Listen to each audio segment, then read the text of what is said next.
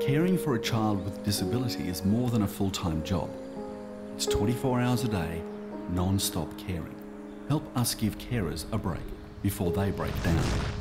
Donate to Wesley Mission before it's too late.